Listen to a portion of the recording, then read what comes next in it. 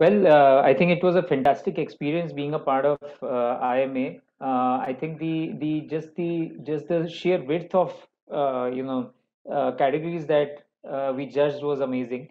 Uh, Mhm. I think personally for me it was also a a great uh, learning experience being with such an esteemed panel of experts, uh, Mhm. and we were exchanging ideas, and there were there were a lot of conversations. Uh, there were also different differences of opinion that we had in the group but eventually yeah we feel that we did a lot of justice to uh, you know the people who won. Uh, but uh, I, I was uh, really amazed with the quality of all the entries that we received.